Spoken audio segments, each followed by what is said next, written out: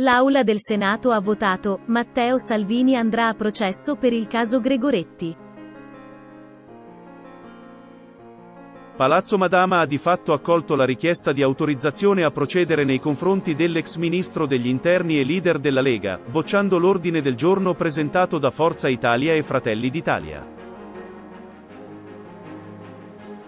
Il documento chiedeva di dire no al processo a Salvini, accusato di sequestro di persona dal Tribunale dei Ministri di Catania, e quindi di ribaltare il voto della Giunta delle Immunità il 20 gennaio scorso.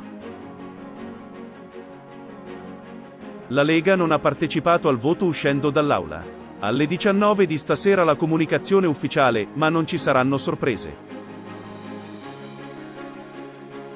Occhi puntati, però, sul tabellone, si segnalano alcune luci spente nell'area dei senatori di Italia Viva. Renzi aveva annunciato voto favorevole al processo, pur non condividendo l'idea che la scelta di Salvini sia un reato, e qualche luce verde, come quella di Pier Ferdinando Casini del Misto che ha annunciato in aula di essere contrario al processo.